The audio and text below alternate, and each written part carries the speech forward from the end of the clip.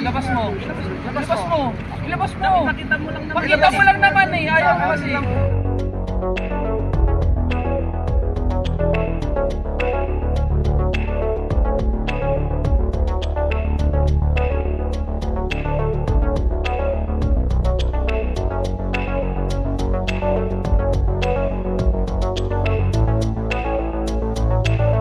Ilabas mo lang. Para mabilis tayo, ilabas mo lang. Tapos uwi ka na pagkatapos.